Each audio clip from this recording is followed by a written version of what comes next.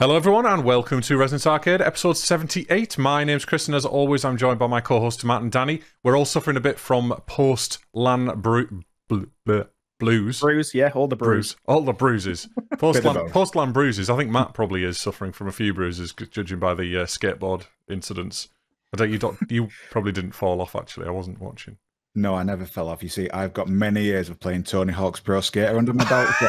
so- So, that makes you good in real life. Because I mean, we all know that you know playing GTA makes you a brilliant driver. You know, exactly. and an incredible car thief. So yes, we all attended LanOps at the weekend. So we've all met each other. I think Danny and Matt had met each other previously, but I have now met these two. Um, Yeah. Last time I went to LanOps was about three years ago, which is when I did the last uh, one of the shows, uh, one of the the last shows that we did, the last incarnation of Resonance Arcade. So yeah, now met everybody. We all hate each other just that little bit more. Just that No, little bit more. The thing is, were we, we were all within like swinging distance all weekend, so it was a steady truce we had. We were, but I still managed to not play any games with you at all, Matt, whatsoever. I, I I don't, it's a pl- we- we didn't log onto a single server together. I would have come into Mordor, but we'll talk about that in a little bit later on. We'll Um, and and Danny managed to play less Some. games than he normally would. Not really. More games. Just, just, but you still only got one game on the list or two games on the list. Two games. on the Jesus list. Christ! I know. Anyway, so Danny, come on, what's what's what's coming up in that in our flashback section? So wait, what flashback section? Um, we're looking at. Um, wait, hang on. What's going on here? Script's not even written. Doesn't matter. We flashback have. I section. haven't even read a single line of the script apart from the first bit. I know. Just, but- just roll with it, Danny. Just roll with it. I know, but there's like, what are we looking at? Have have you done your vocal warm ups? No, yeah. So we, we do we do expect to run over. I'll take over, Danny. Don't worry, don't worry. Uh, we do expect to run over a little bit in this show because um, we have been to the LAN party. We have done a lot. Well, I've played literally a ton of games, um, and we've got quite a lot of news as well this uh, this week. And I think I've just done Matt's bit as well, just for a laugh. Pretty much. So, Chris, I, I Welcome in to the Chris Show. Yeah, well, welcome to the Chris Show. I'm Chris. This is Chris, and And hello, I- I'm Chris. and our usual host, Chris, is not here today. He's been replaced with Chris. Oh. Anyway, right. So we suppose we better move on then. We better move on to the competition, which is a bit that I do again. In fact, Matt, do you want to do it? Since you've not said anything, do you want to do the competition reel? Wow, you, you're letting me letting me lose. Okay, here we go. now then, dear listeners, it's time for our competition. For the benefit of any new listeners, here are the rules. Each week, one of the hosts has two minutes to sell a game they've played, but no one else has. The others can ask up to three, one, two, three questions and award points based on whether they would buy the game at A, its current price, which is one point, or two, I went a bit off script there, its lowest historical price, which awards half a point, or sometimes we may decimalize the points if someone's done a shit job. Like that, basically, Danny. Yeah. Once again. Get ready for another decimal system coming in, boys. coming in hot. The, the Den's decimal system is in full play this week. Uh, there are also bonus points to be had if anyone buys the game or adds it to their wish list before the end of the season, which is coming up soon. So it's still all to play for, boys. You did a So better Dan- job of that than I do every week, actually. I, I'd lib that every week, and either I've written a brilliant script or you you just better at it, better at reading Um, it out. I'm reading it and you haven't. It's it's ta- this is something natural. It's called talent, Chris. so I'm I'm I'm going to flip it around this time. So Danny, what are you selling? What are you I buying? am- Thank you. Wait, Hey, he gets it in. give myself a little pat on the back there. Right. So this week. Hang on, let me um, get the timer up. Let me get the Oh, timer oh, up. oh, Oh my god, oh my god. Right, I'm ready to go. Let's go. One, two, three, go. Right. Okay. So I am selling this week a game called World War Three, which I have checked previously, and neither of you have played. The game is developed by uh, The Farm Fifty One, and it is basically an online-only multiplayer hardcore shooter game. Um, basically, keep it as a, a more hardcore battlefield. Um, satisfying hardcore gunplay, uh, realistic sounding and feeling guns, and uh, by that it's sort of like when you when you do fire them, they're they're all very distinct different um, you know rather than the sometimes you get a bit of a g- generic thing going on with a lot of guns in a game. Uh, with world war three they are quite distinct and, and really fun to shoot especially when you get a kill with them. It does feel like punchy and like it does a lot of damage. Um the so it's obviously I've mentioned the sort of hardcore battlefield side of things, but it sort of adds another layer with the whole peeking system, a bit like Rainbow Six Siege in there. So although you are just like random guys running around the map, you do get the ability to sort of peek left and right and just poke your way around the 60 corner seconds. if you want to. The game is basically domination based only. Uh, think of it as like a smaller scale PlanetSide, but not persistent. So there's not like an instance where you're constantly hopping in. It's sort of like four regions that whoever based on whoever wins that particular match in that region, it adds points towards like different regions, and whoever's winning on that kind of takes lead, and it's like got a bit of a map to show you who's who's leading. There's four regions, so there's Berlin, Warsaw, Smolensk, and Moscow. I have trouble saying that. Uh, the game is still in seconds. development. It's early access. So let's blast this 30 seconds out. Mix of vehicles and infantry warfare. Maps are large enough. I mentioned Battlefield. You all know what that is. Maps large, 64 players max on a map. Very in-depth customization of player model and the guns. Think of like I don't know if you've played Tarkov, but think of Tarkov uh, level of gun customization, but a little bit more streamlined. Nothing sort of paywalled or experience walled to you. As soon as you get the game, you can just go Four, do what you want, three, two. and that's it. one. Oh, All right. Good effort. not bad. Considering that was last second. Yeah, Because Danny's was- Danny's basically screwing this competition now. That's it. That's all the games that he's ever played ever. yeah. That is the last game of my Steam. I'm kidding. the last game of my Steam library I haven't talked about that I call. How many episodes have we done, Chris? Oh, That about I've two, partake- two yeah, or about three. two where I've taken partaken in the competition. So I've got about three games in my Steam library. It's more Um, of, more of a Steam pamphlet, really, isn't it? Yeah, it's like a quick. this is it's just this. It's like a Steam gift card. It's just the the few the few games at the top of the Steam gift card you get to have a small taste of. That's my library. Steam bookend. Yeah. Right. So, Right. Matt, you got any questions?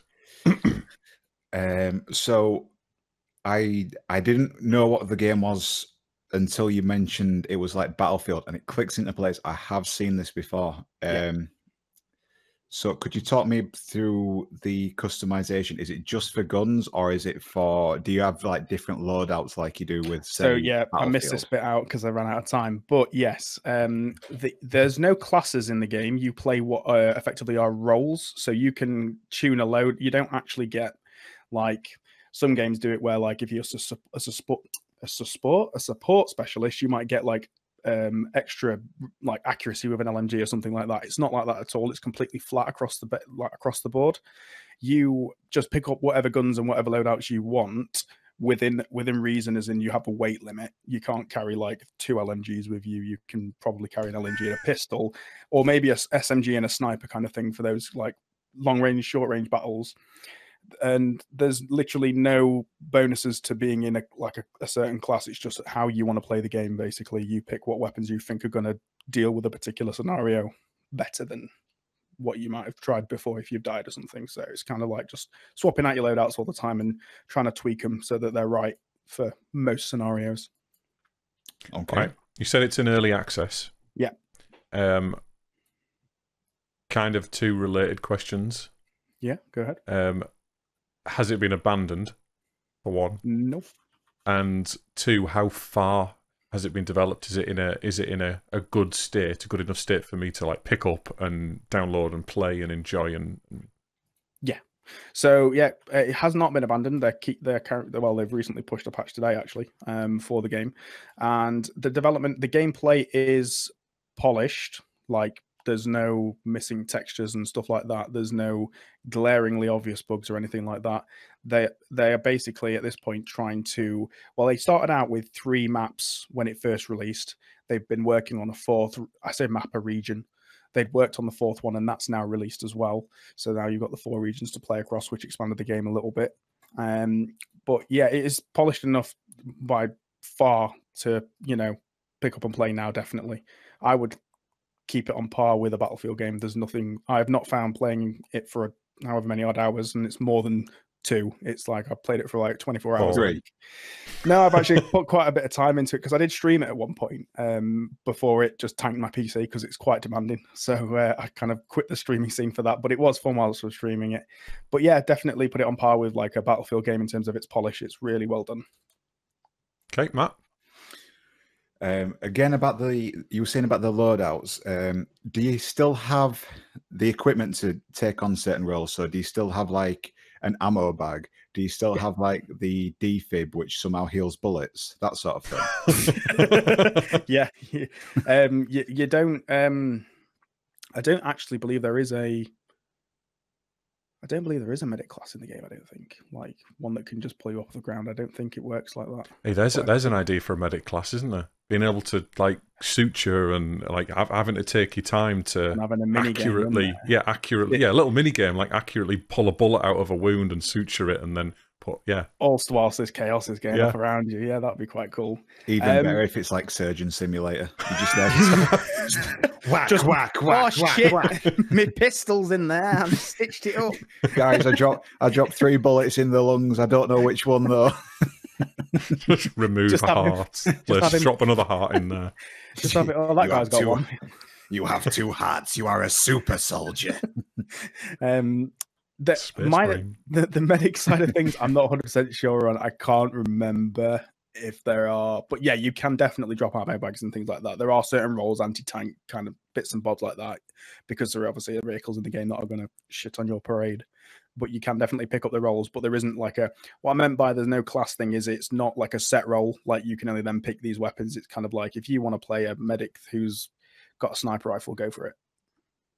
Okay, cool.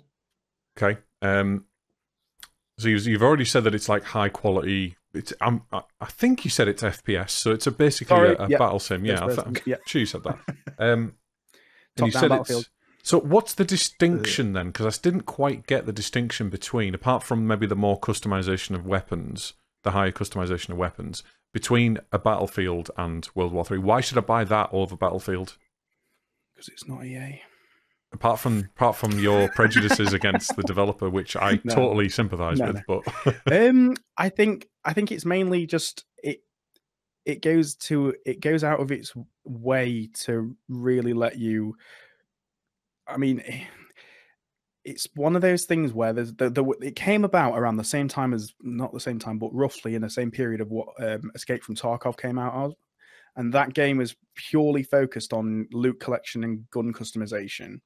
Um, with uh, World War Three, it's it takes it a way higher level than Battlefield does.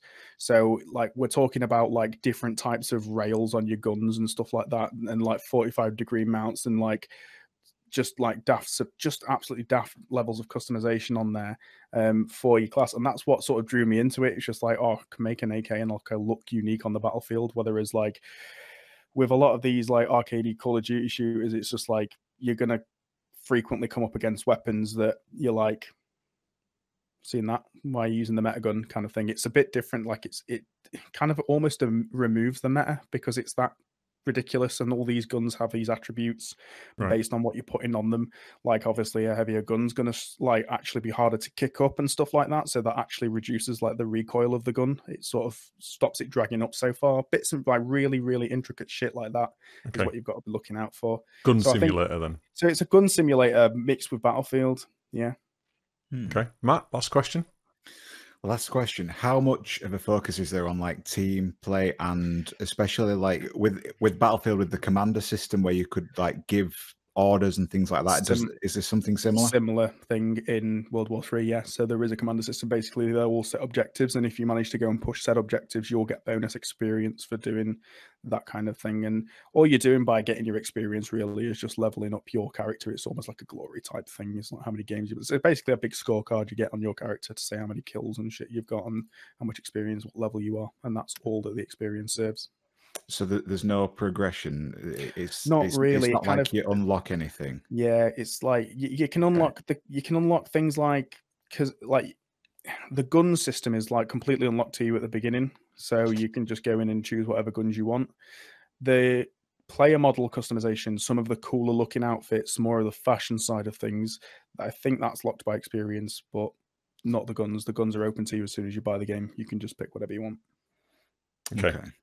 Um, right. So I was actually going to ask about the experience and how the progression works. Um, that's good enough for me. So my last question is, why is it World War Three? When is it set? And are, like, are the are the weapons advanced? If you know what I mean, or is it just Just- It's weapons that we know and I'd say love, but do, do we love weapons? Love my LSW. I, I do. it's it's all weapons that we have around today. So it's almost as if today, like I mean, this doesn't age well this comment, but it's almost as if today we went to World War Three, like the kinds of pistols and AKs and M4s and shit you'd have today. It's that and the same vehicles and stuff like that. the thing So is, right? no I'm a big believer that age. I'm a big believer that if World War Three kicked off, not believer. This is the real. That's really the wrong term to use. He's a If- doomsday prepper. No, no, no, no, not I've got 40,000 tins of beans. Uh, that's me dad. That's me dad. That's, that's very wrong. Um, I'm, I'm, I think that if World War Three kicked off, tons of new like armor, arm, um, army out. technology would come out because of it. And I don't, I'm not necessarily, I don't necessarily think it's it's ready to be released. They obviously have all this in the in the army and and and You in mean, like- active combat, but I reckon it'd just suddenly kick off because there'd be loads of money in it and loads of reckon- development and research would go into it. So do you reckon that they'd start researching now, or do you reckon a lot of like unreleased stuff would also make it out very quickly, I think it, probably ahead of schedule? they would accelerate things. I, I'm not sure about. Well, yeah, I reckon they'd probably they'd probably release stuff that's in R and D at the moment that isn't quite ready, uh, and they just give it to the grunts. It doesn't matter. There's only there's only twenty of them in that in that Look at this unit. pistol. It Yeah. fires backwards. Let's see if it works. You see that one that fires round corners? Oh yeah. gun that fires round corners? Did you see that there was an attachment for that? It was a stuffed cat attachment. So you get on the floor, put it around the corner, and it just looks like a cat's come around the corner, What? and then bam, bam. You're joking me? No, I will. I'll try and find the YouTube video after this because fucking does it? It's- it-. What's that cat- cat doing there? Oh Fine, shit! don't worry about it. wow. All right, okay. So questions are up. Um, Oh, Danny, God. what's the I've current got one- price? I've got. Sorry, I've got one more quick question. Oh, Can you go on attack- then. Can you shoot round corners with a cat? No. Shoot through a cat's ass round a corner. Not the cat's ass. That's ridiculous. Oh, Well, sorry. how else is it going to attach? There's nowhere else to thread a hole. I don't want to see your ass after all that. if that's where you're trying to thread things. Right, Oh. you're going to ask about prices, I think. Current price twenty four pounds, so it's a little bit steep. Lowest recorded British pounds price fourteen pounds forty. Hmm. Oh, they're high prices. They're high They are. prices. If we base it truly on on the the prices there, if it was cheaper, then I would probably say yes. But because it doesn't, there's not much more to it than what I And then already own. other- Yeah, I've exactly. earned. Ba- I I own Battlefield Three. I think was the last one I actually played. I probably got five somewhere as well. I think I got it with my graphics card or something like that. Yeah. Um. No, I wouldn't. I only only because of that price. If it was maybe eight to ten quid, You'd get it. Yeah. maybe I might give you half a point. I might think about it more, but no, I'm gonna have to say Fair no. enough, But yeah. it does sound good though. To be fair, you, you did you did a good job then, Danny. It's just I'm doing the RimWorld thing that you guys did to me last week. Nah, totally understandable. Like I had, like I got it o- on release when it was like hyped, and Yeah.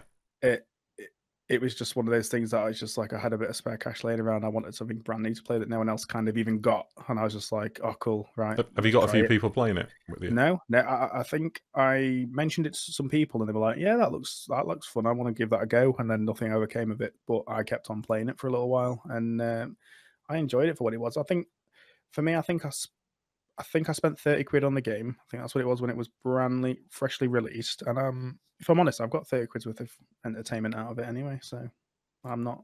I'm not sure I would. That's the thing. I, Yeah, it, it does sound like sound like something I'd, I'd enjoy for a set period and then kind of just give up on and I'd never play up on. again. Yeah, I do the same with all shooters though, really these days. So Matt, At 14 quid, especially if there was a few more people interested in it, at 14 quid, I'd buy it because I I played a hell of a lot of Battlefield 4 and it just sounds like more of that, like, you know, maybe a bit updated. But yeah, for 14 quid, yeah. Maybe not full price, but 14 Yeah. quid. is that Yeah. a full half a point from you then? That's 0.4999 recurring. No, half a point. Point four nine nine nine nine nine nine nine. You just put Right. a little circle at the top to indicate it's recurring. So what's that? I'm on one point zero one six two five. You're on one point six four nine nine nine nine nine. If that's Nice. the type, if that's the type, right. Okay. So next week it's Matt's turn, and that's the end of our season. That's the end of the season. So that next week not next week, the week after next, we're going to be doing a roundup, which is probably going to be pretty boring for our listeners, but we're going to be going through our Steam list and we're going to be saying what we've added, not just Steam, but if it's a Wii game, for example, what we've added to our wish lists on our Wii U. Uh, Wii U's? Was it 2014? I can't remember when it came out now. But anyway, yeah, so that, that should be fun for everybody. It's not going to be boring, Chris. Come on, sell it up a little bit. Get okay. people interested. It's going to be the best It's gonna be- experience of It's going to your be the wish list extra- extravaganza of the year. it's going to be get like You'll be the first to get hands on with the Denz decimal system. Get to It's- love it. it's going to be like Barry White has come back from the dead and he's singing our wish lists. That's how impressive it's going to be. I've been practicing. I uh, I've got high hopes for Matt's game next week. Have you got anything in mind yet, Matt? You don't have to tell us. Don't tell I- us. I I do. Good. And because because it's the last one, it's going to be a good one. Okay. So I we'll, hope we'll it's see. another Metal Wolf 3D. Oh, that was brilliant.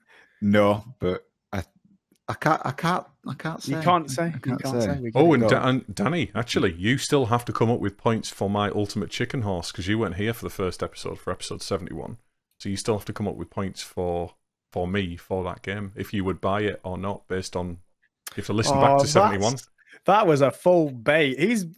Oh, what? You can't make me play the game and then be like, oh, now you've got to reverse. Oh, apply sh- no points to it. shit. I've played it now. You've played it, haven't you? Well, that's not fair. No, I didn't do that on purpose. That's not fair. I did tell you. No. In fact, I sent you a message in Discord at least a week ago, and you can look back in the log to see you need to give me points for that. Okay. Threateningly. Oh, yeah, You need or to I'll give me can points break for your that. legs. I'll Give me find you. points before I do the Steam, the LanOps Steam game plan where you play all the games I've played and you buy them. Totally Sick. did not. I didn't even think about that. I did not think about that. But yeah, book it. Sorry, sorry, it's done now. Done now. I sold it. I sold it weeks ago when because you weren't here. Oh. Right, right. Let's move on. So onto our flashback section, it's where we talk about games that we've played, basically. Um, Danny, get you on done with anything? Yeah. Factorio and Crawl with you at LAN. Was that the first time? Oh, it was the first time you played Factorio, wasn't it? It was, yeah. What did you think of it? I I like the game.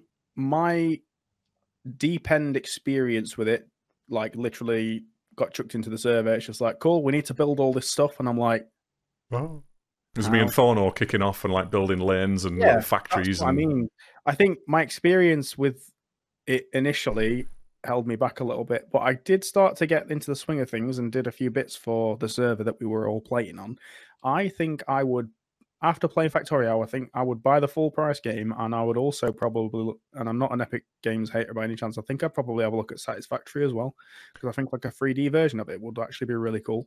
I, s- I- well, it's easier, I think, to to build factories on a 2D plane in Factorio than it would be in Satisfactory. I haven't played Satisfactory, but I very much do want to play it. I've seen it plenty, and I saw it plenty at the LAN as well, and it's definitely up my street. I, the only reason I didn't press the button this weekend and buy it is that I wanted to. I want to play it on my own to start off with. I don't want to jump into like that Factorio thing. I didn't really want to jump in and learn Factorio with other people. So you, you, I'm, I'm glad you like it because there you go, your micro uh, experience of micromanaging games. I think what what my I don't have an aversion to micromanaging games. I hate micromanaging people. That Okay. pisses me off. The randomness of it annoys me. Do you know what I mean? Like with with Factorio, you know where your lanes are going. You know what thing you can generally visualize what's going to back up and what's not going to work Okay, right. so procedurally generated environments and people, and Environments and, and and random RNG, just like micromanaging that annoys me more than it probably should do, but it does. I And get it. A bit more like predictable than normal micromanaging games. I get it. You spent you spent um you know 150 odd hours building this this character up, and then they suddenly have a heart attack and die on you. Yeah, it's annoying. Thanks, RimWorld. Happened to me the other day. Nice. Bell end. Um, Did you find out whether you can cut your own limbs off and eat them yet? I didn't. I haven't seen- that. coming at us with the important questions, and So then the second, go on. I was just going to say, so Factorio is that something you're definitely going to buy then? Because I will play that with you if you if you're up for it. I think so. Don't I think what I will do before I do is probably have a look at someone who, like on YouTube, who's good at the game and can explain the the general mechanics of it a bit better than it's like, oh, you just click this, this, and this. Like, well, okay, right, and muddle my way through it. I Everything's got inputs and outputs. That's the basics of it. You know, you it, yeah. feed you feed data into things, or you feed um, items into things, into things and, and then yeah, yeah. other things come out. One one item comes out of a assembler of some description, but there's loads. Of, when I you think- get into the oil and the, the liquid and that kind kind of stuff, that gets more complicated as well. Yeah, it was. I think um, mainly things to do with like belts and stuff and feeding belts into the right place without fucking it up. That's what I was scared of doing because people had already done belts and then things got attacked. I was like, how am I going to rebuild this? I don't know. So that, I think a bit more experience with the general like basic mechanics, and I think yeah, I'll, I'll pick it up. And If you do the campaign, pick the single player Ah, game up, okay, there is, do yeah. the campaign, and the campaign takes you through the basics and gets you to a certain level, and then you go right. I'm now utterly addicted to this game, and I want to build the most efficient, massive factory on the planet. You can even turn the enemies off. You don't need to have them on. I did that the first time I played the game through on a skirmish mode. yeah, that sounds like a lot less of a stressful experience. I mean, they're, they're just annoying. Went by a, a certain point in the game, they're just annoying, and you can get massive hordes of enemies coming to you, and you can deal with them pretty easily once you've got your walls and your turrets up. You don't need to worry too much about them. It's Yeah. very much the same with Satisfactory, although you do you don't really have, or I haven't seen any sort of hordes attacking you. There are enemies in the world, but it's more of like an individual threat rather than a threat to your base. Yeah. So if, Okay. if you're enjoying Factorio, I'd definitely have a look at Satisfactory as well. Yeah. Sweet. Right. So Cool. before Denz goes into his second one, let's go to Matt. What have you been playing? Anything new? I have. I've been playing something that we spoke about last weekend. I've been playing Untitled Goose Game, Yep. and it is as fantastic as I thought it might be. It is wonderful to chase a child around honking. Yeah. I'm just going to let that linger for a moment. Dedicated honk button. A dedicated honk button. There's a dedicated honk button, a dedicated button to raise your wings in a threatening manner.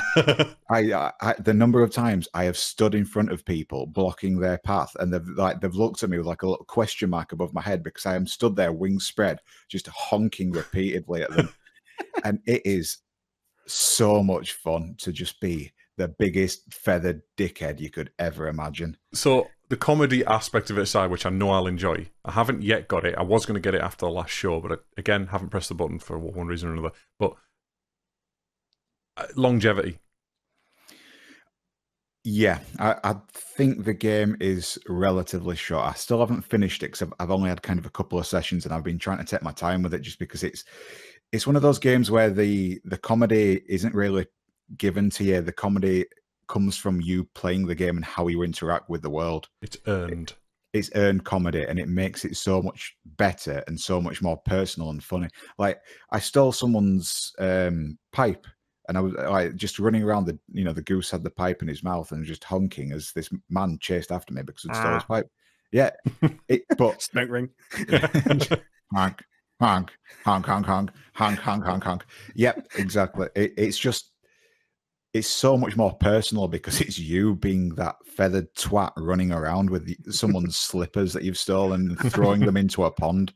It's yeah, get it, please yeah, get I'm, it. I'm going to get it. I'm definitely going to get it, even if I just play it at home. I was considering it, taking it round my mate's house. Uh, I said I'd do this Tuesday night session with like quite a few people, and and we're all just going to kind of have a laugh at it because quite a lot of the time, my mates enjoy watching me playing games. Uh, well, one one of them in particular, um, and he's he's he just likes sitting there watching uh, either either if I'm particularly good at a game or particularly bad, or it's funny or something. I said we've been playing that um, oh that West of Loathing game Yeah. um, which is just funny Just to me, I just find it funny. It's just an arbitrary RPG stickman game. You know, you're running around. Everything is just written in such a funny, sarcastic, satirical way, and yeah, it's a good laugh. But yeah, I'm I'm I'm gonna get it. Maybe this week. I'd, I'd recommend it, especially like um, I know you've said in the past that you, your wife doesn't play a lot of games, or she's not maybe not the best at games. But it's it's something that like anybody can pick up and play because it's there's no threat in the game. Hmm. Nothing's ever going to hurt you. It's I guess it's closer to a puzzle game than anything else, but it's just such a it's got so much character to it. Yeah. Like eh, like anyone can just sit and play the game and just get their own enjoyment out of it, and it it, it it's it's fantastic. I love it. I say that she's she's this week. She's she's picked up Until Dawn on the PlayStation Four, which is like a heavy rain type story based, decision based game uh, with lots of quick time events. Um, horror. She's into horror, as I said before, and she's played that and completed it like over the weekend, and, and Oh. I think she finished it yesterday actually. Um, and you know, it's like I'm quite impressed that she went out and bought a game off her own accord, and you know, actually got into it. it. Yeah, She's. I'm Good on her. turning her into I'm turning into a, into a gamer that's not Good. afraid of pressing buttons. We need more of those. So I'm going to go next, um, just to spread things out a bit. I've got a list literally as long as the Trans Siberian thingy railway. You know, Railroad. really long railway. It's it's a big Oh, right, list yeah. anyway. So I'm going to just quickly go through the ones I'm I'm still playing. Dying Light: The Following. Um, nearly nearly finished it. I'm like one percent, two percent off the end of the main story, but there's loads of side things. Just enjoyable. Just want to keep playing it. Bloodborne, kicking my ass. I'm now on a spidery thing boss, which I think everybody who's played it knows. Um, I've done quite a few. The Shadow of Yharnam, which was a boss, three guys with swords and flaming balls and stuff. Oh my fucking god! I nearly bit my own finger off trying to. I swear to God, I was so frustrated. I was just sat. My wife kept giving me suggestions, and I'm just going fucking chop. oh, I'm so angry at that that one particular boss, but still loving it. I've also picked up Dark Souls One. Uh, well, sorry, I've already got Dark Souls One Die More Edition on the PC, which I've had a little play of. Was that working all right? I saw you playing it at LAN. Yeah. it- Is it working all right? It, Oh, it, it looks like I'm playing it in 640 by 480. It is in 1920, but and with anti-alias and pushed right up. But it looks because it's so old and it's not the HD remake. It's pretty shoddy looking. It's a lot slower than Bloodborne. Yes. It's a lot more considered. Um, and it feels to me maybe I should have played that first. I don't know. I, I, I'm not sure if I want to play the first Dark Souls. the the games do ramp up in speed. So Dark Souls one is quite methodical. Dark Souls two a little faster, not too much. Then Dark's uh, then I think it was Bloodborne, which is way way faster. And then it kind of it kind of meets in the middle with Dark Souls three. So the it, it's different for every game. The the combat's a little different. But like with I, I find with Dark Souls one you can get away with like heavier weapons a lot easier because things are a bit slower. Right. So that's just something to consider. I played it up to the f- second campfire, and then there was this night guy sat next to the second campfire. I spoke to him, and he gave me some advice and told me what to do next. And then I hit him with my sword, and then I hit him with my sword again, and then I hit him with my sword again, and then he just chased me around the level. So I have to restart the game basically because I've ruined it. I've ruined the entire experience. Did you accidentally press the attack button? No, no, times, no, Or were you just I- seeing what was going to happen? I did it on purpose. In in Bloodborne, there's quite a few um, NPCs that you can kill, and you get special items from them. There's some that you can kill, and they kick off and they turn into monsters and stuff. But most most of the like passive NPCs either don't die or they die and they give you something very special. So I thought that might be the wasn't the case at all. I was doing about two health every time I hit him, and yeah, there's no point. I couldn't get away from him, so I'm just going to have to restart it. But I've learned a bit about the game while I've been playing it, and Yeah. I think I did better playing the first one than I would have done if I just went into it blind after playing Bloodborne because I know the I know what to expect kind of from it. But I've got two, got two ready on the PS4. I think that's a HD remake. I will get three if I enjoy two, and then I think I'm going to go for Sekiro as well because I'm I'm I've into it now. Sekiro. Yeah, I didn't. I don't know. It just sounds very, very, very fast in comparison. But I don't know. I've not played it. Have you played it, Matt? I haven't. It's it's been sat on my to playlist for a while, but there's something about it that I- I was expecting it to be different than it is. Like I was expecting it to kind of just be, you know, weeb Dark Souls. Well, more weeb Dark Souls, and I, I don't think that's the case. I think the, the focus is a lot more on like the combat with what you have to work with, rather than go find a new item and try it out. Which is what I, I like messing about with things in Dark Souls. It, I, I like using it as a little bit of a sandbox. well what if I do this with this, and then I can do this stupid overpowered thing. Hmm. Yeah, so I'm uh, I, yeah gonna go gonna keep go, going with that that series. I think. Also played. Um, I've I've moved back at the end of the LAN party. I had a bit of spare time, and I thought, right, I'm going to get onto Witcher Three. Um, again, because I've wanted to replay it for ages, and I wanted to replay it on the hardest setting because towards the end of the game, you're really overpowered. You've got all the best stuff, and it's just easy. All of the monsters are easy. Um, and it's it's a hand in my ass to me every five seconds because you don't regenerate health when you meditate like you do in the original uh, in the normal settings. So you basically you have to use every penny that you earn to buy food if you're not particularly good at dodging enemies, which I'm all right. Mm, I'm still in my head playing Bloodborne, so the timing's a bit off. Um, But it's as hard as as Bloodborne on the hardest settings. I would say. Uh, actually, I'll take that back. The From Software guys will, the, the, the fans will probably have a go at me for saying that. But it, it is difficult. You have to dodge. You can't just attack things. Um, and I've also got the DLC to play, which I've not touched. So, and I've also chosen a few different options at the beginning of the game. You can set up the save or set up the game like you'd played The Witcher 2. So you get like this questionnaire while you're in a particular scene, and uh, the questionnaire kind of sets up the rest of the game for you. Certain characters are alive and certain char- characters are dead and that kind of thing. And this event occurred and this didn't. And I chose different ones. I think from last time I've already done like two missions that hadn't been done before, and they also uh, alter the outcome of the game by the looks of it, or at least certain parts of the game. So yeah, I'm getting a different experience, and it's wonderful. It looks still looks brilliant these days. It's quite old now as well. It's still a wonderful looking game. Um, right, I'm going to let one of you guys speak. I've still got loads to talk about, but uh, Yeah, Might have as well you- in with Crawl there. yeah, but- go on then, Dan, Danny. Yeah, so obviously Chris's knows, but we played a game called Crawl at LAN on Chris's machine, which is like a would you call it an eight bit top down how is it what It's a dungeon crawler. it? Yeah. The, the clue's in the name, Danny. mm, so basically, you want to, do you want to explain what it's about, Danny? Yeah, I'll go for it. So you four player co-op.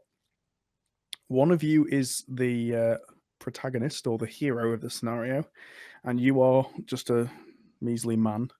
The other three of you are what are effectively ghosts, and your de- your objective is to basically fuck your friend up as much as you possibly can.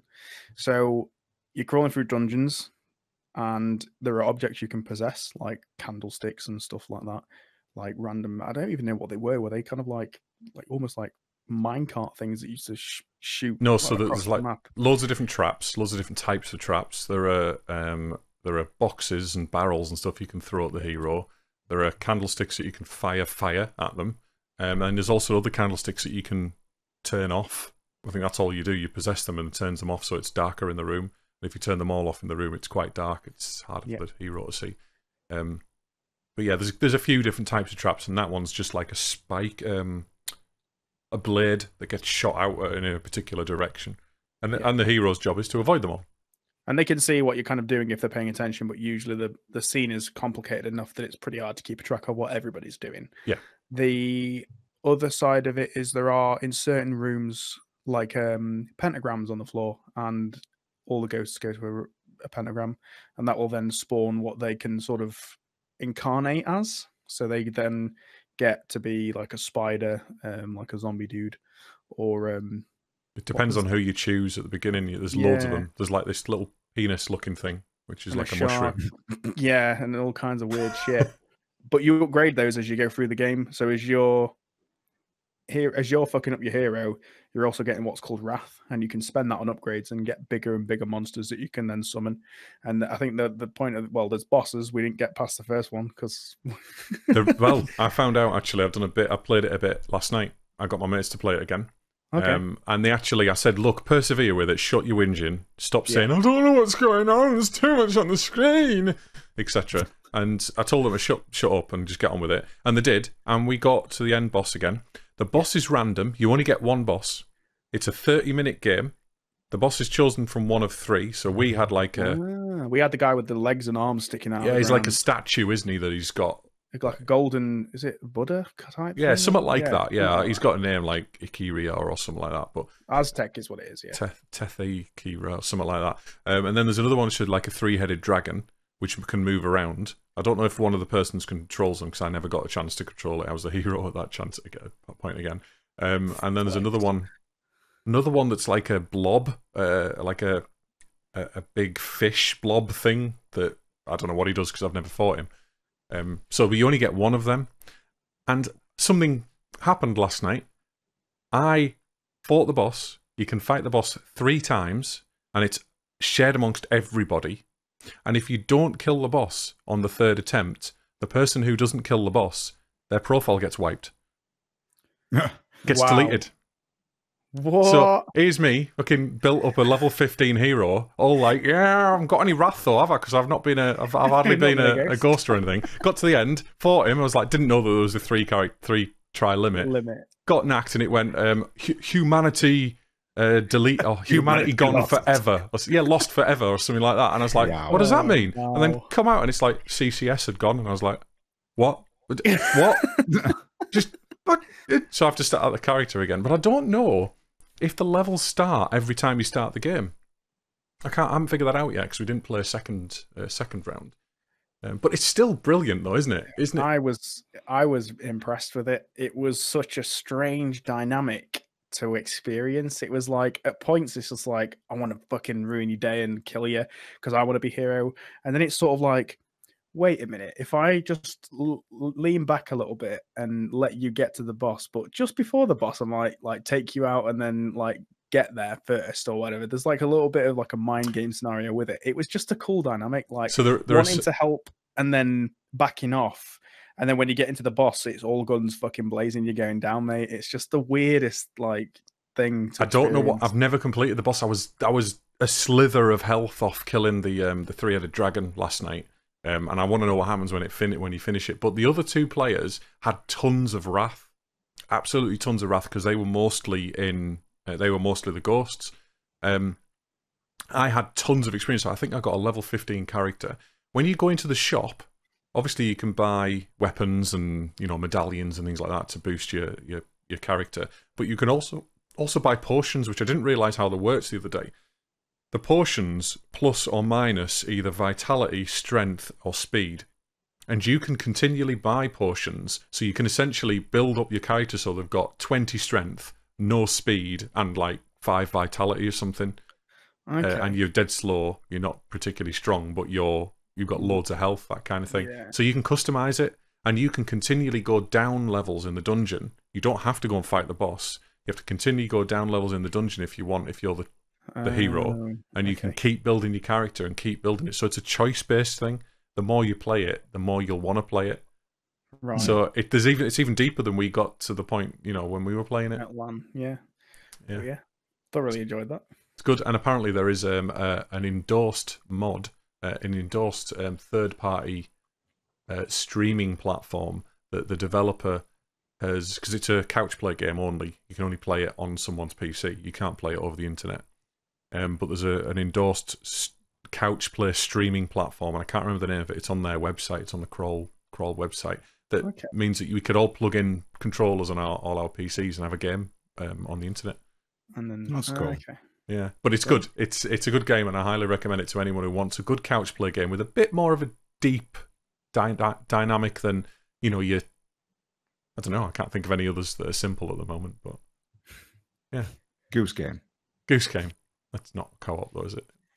Yeah, but you Oh can my god, if honk it along. was Multiple Double- honkins. four four fucking swans, uh, ge- geese rather swans. I get the two mixed up.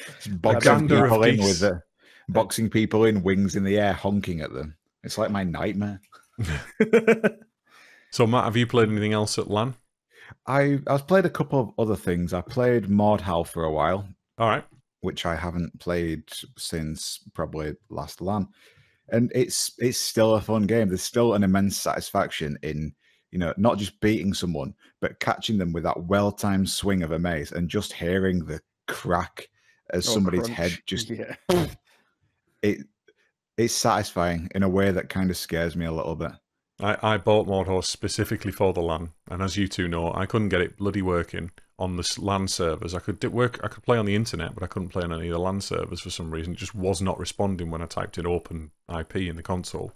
Um, so strange. I didn't get to play any of the big games. Didn't play it that much, but I do want to play it more. Um, I was rubbish at it, absolutely rubbish.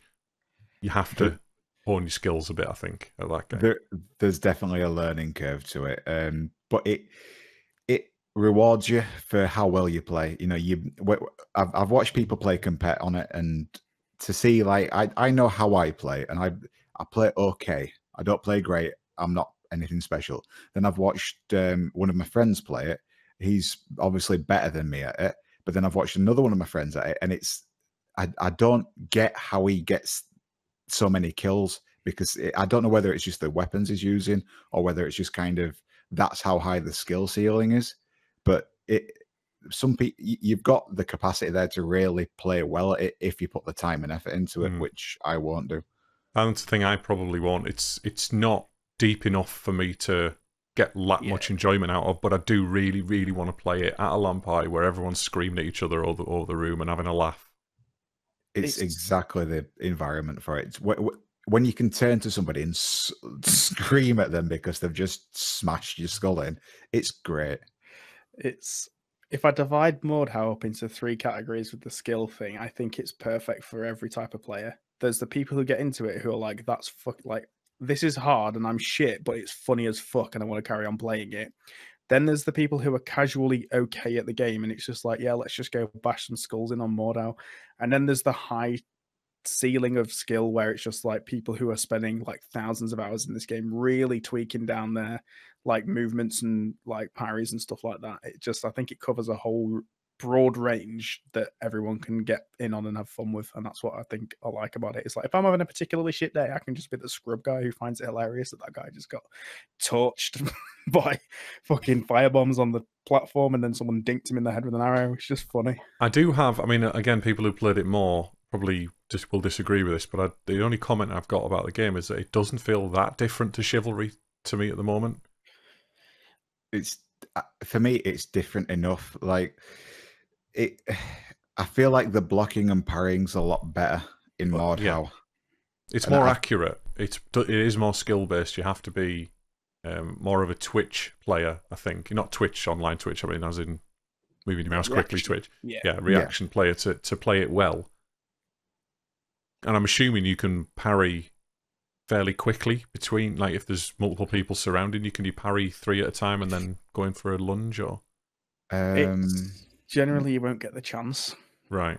You can. I've done it before where I've parried two people, but if there's two people around you, there's likely a third, and you just can't, and they're just going to crack you. And it's just unfortunate. You might be able to get around them once, but it's just that it does drain your stamina. So as soon as you've parried a couple times in a row, you're really running low on stamina. As soon as that stamina bar drops, your weapon just drops out your hands, and you're running around with your fists. And don't get me wrong, timing on fists is a bitch, and I hate it. So when I'm like par- like pounding on people, and they suddenly drop their weapon, it's like it's almost like Dark Souls just fucking comes and punches me in the face because the timing's then completely off, and I'm like, "Fuck, I can't hit this gun," and he's just beating me to death with his fists, and I'm just like, "What the fuck? I can't lose now. I've just like annihilated you, dude," and he just punches me to death, and I'm like, "Fuck off! I'll just quit." I did. I did get quite a lot of success. I mean, I was rubbish with um, uh, with the melee weapons, but I did get quite a lot of success with the bows in this game. yeah. Um, I'm not a particularly big fan of range weapons in multiplayer games, uh, unless it's a shooter. But you know what I mean in in that kind of environment. But Mario, yeah. because I know a lot of people get get frowned on for doing that as well. But I did. I got more kills, so screw you all. And I love camping as well. Yes, you heard. I loved camping in that game. Is that because you can pick berries No berries. when you go camping? His own arrows. oh right, I get it.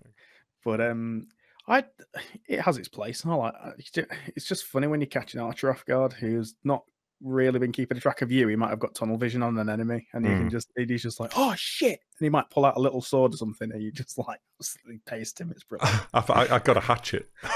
yeah. Throwing I- axes are one of my favorites as well. Like you know, when you just lead a shot just right, and it goes, and you just go clunk, and it just takes them out. It's just, it's so much fun. I'll have to get a bit more I- in on it online, Yeah, see if I can get more we'll- enjoyment out of it. We'll have to I s- like organize um like a night or something every so often just to play Mordhau. I'm not sure what happened there. I'm not sure. Um, I do have a point of contention still with all games like this. The fact that I can swing like an 80 pound Warhammer at someone and they can effortlessly parry it with a stiletto dagger annoys me to the end of the earth. It's like it- it's like if I was driving a car at someone and they could just like use a fork to like knock me out of the way. It doesn't work like that. Yeah, so yeah, I I think if they did that though, everyone would use eighty pound warhammers, wouldn't they? That's a problem. And it'd be a greater game for it. Make the stiletto incredibly quick to stab someone, and then, but then they get shot. whip out- then they get pounded into a stake. Risk and reward. But yeah, we'll definitely pick that up on uh, like a one ups night, gaming night, whatever. People are always on it, so don't Yeah. worry, and it'll be there next LAN. So yeah, Absolutely, yeah. Right, so going through a few more games I played. Um, Warhammer Dawn of War, you've been playing that, Danny. You kind of got me yeah. Back you- interested in it.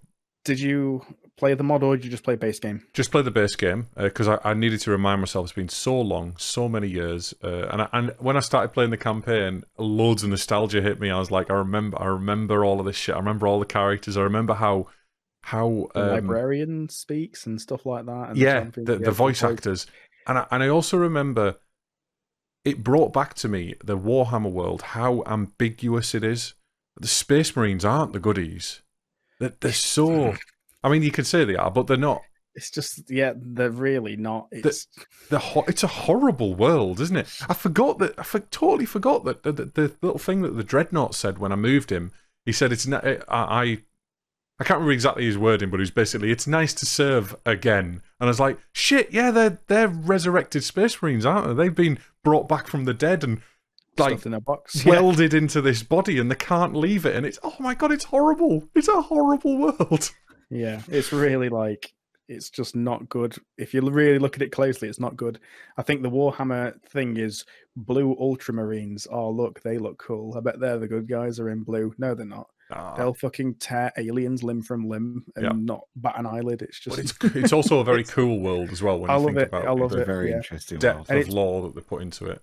it's what annoys me about a lot of the um, Warhammer stuff that I would play Warhammer games no end, but some of them just don't, just completely miss the mark. Some of them really hit it, and Dawn of War is probably top that hit it. I think. There's, I mean, I also playing, enjoyed the depth of it, and you said the the apocalypse mod um, goes into a lot more depth. So I think I will get it and have a go. Um, I feel like I'm. I think I'm going to put it on my to play through again list because I, I it reminded me how good it was, and how uh, there, there is a limit to to you know the the progression in the base game. But I've also got all of the DLC because I got that as part of a down a Warhammer download, a Humble Bundle or something ages ago, and I've never played them. So Oh, get- so Dawn of War's like you've got like Winter Assault, um, bloody Soulstorm, uh, Dark Crusade, and stuff like that. Oh wow, there's a lot to learn. Yeah, Hmm. it expands it massively. That's what I like about it. It's like it had a lot of expansions. They were all good. It left on a high, and then this Apocalypse mod just tacks on even more, and it just really turns it into a, like a tabletop feeling game. it feels a bit Mm. odd that um um when you all of the mods are separate games they're not all you can't play them all at once. You have to start a new game up and install a new game for it. And i'm presuming it's just expansions to the base game. They are, but they, I think the campaigns within them are held Right. within the separate expansions, and that's why you have to boot up the game and it's classed as a separate game on Steam. But if you go to play, well, if you go to play Soulstorm, you've got all the prior races from all your VDLCs, If you get me, right. So that's how that works. So i'll when have to it, look at the the order they were released then play them in that order yeah, uh, Soulstorm's the last. right but yeah um on the warhammer front we also played quite a bit of uh, deathwing Yeah, we did, and we got past level one. we got past level one i can't believe how hard it is it is actually ridiculously hard. but how much it like- makes me feel like a terminator It- Oh. It does like Why? Because you kept getting terminated. it's so I think the mixture of the head bobbing, the speed at which you generally walk at, and the noise, the sound design on it really does put you in a a good place with like I'm a Terminator. and the environment as well. They put a lot of effort into the look and feel of the the Space Hulks, and it fe- it doesn't just. I mean, I've again, I've got a 4K kind of rig, and it looks beautiful um, at full full 4K res, runs lovely as well. But it's it just got that. It's just got that dark aesthetic. The only criticism I have, and I said this to you previously, is that the animation on the enemies is janky as. fuck. Yeah, like where you see them like sort of stuck to the ceiling, like tr- like coming towards you, like and not even running, and just all kinds of weird shit, and it puts you off sometimes. But it's I can overlook it. But yeah, I can overlook that because it, again, it's quite a simple game. There's not much to it.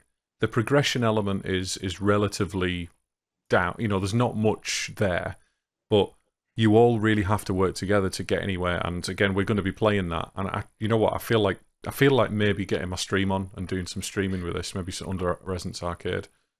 And, Yeah, uh, I've thought about picking up streaming again for little games like and nights like this and stuff. You're uh, But- more than happy to stream under the Resonance Arcade banner if you want, Oh, Denz. oh, it's up to you. It's not just me, you know.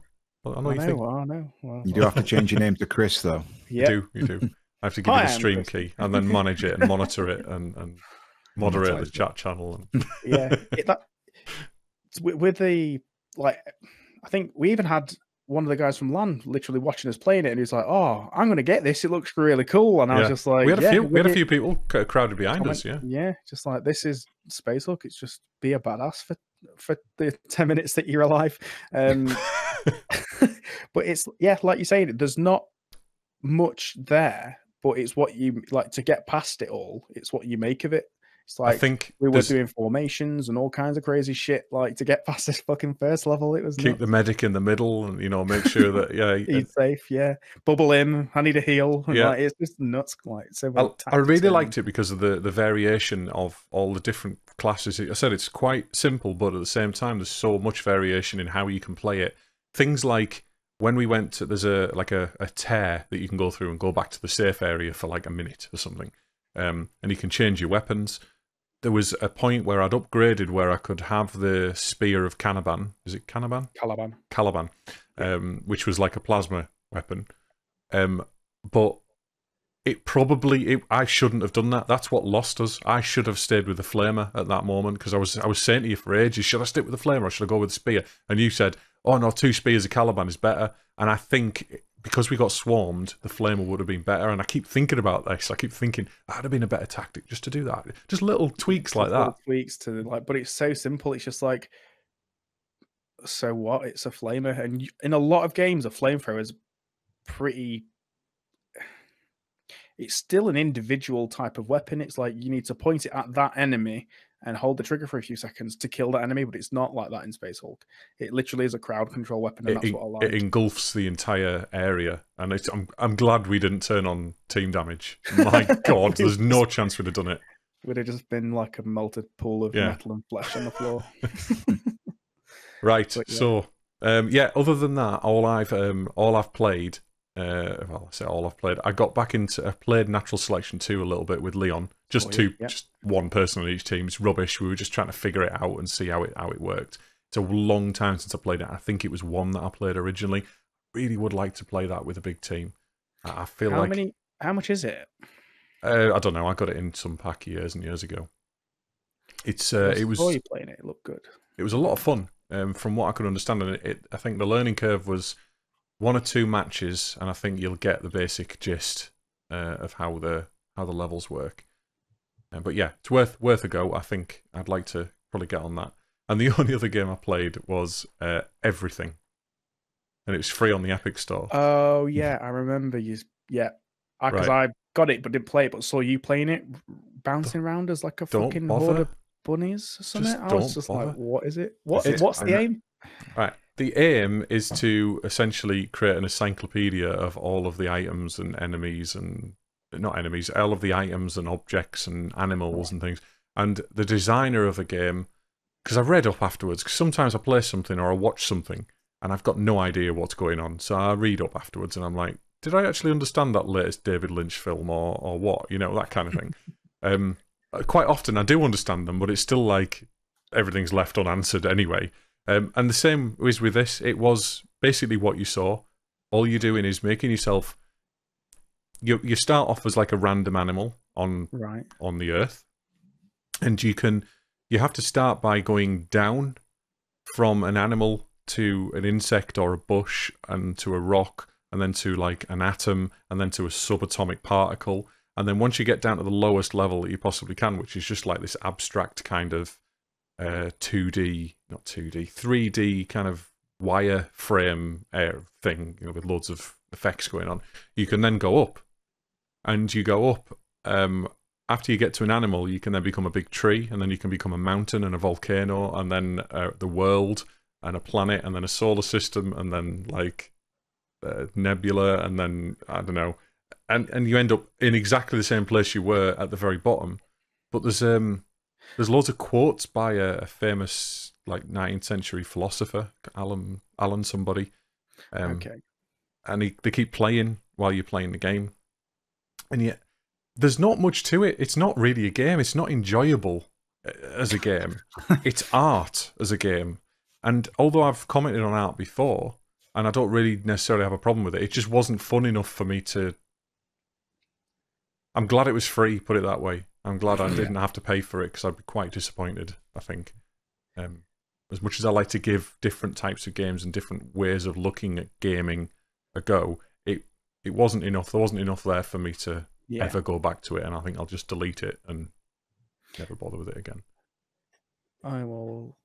Get, I think I'll still give it a go just to experience it. And then If it's it's free, or Give it it- was free. I said I give it about an hour, you know, give it an hour or two or whatever, and it's not.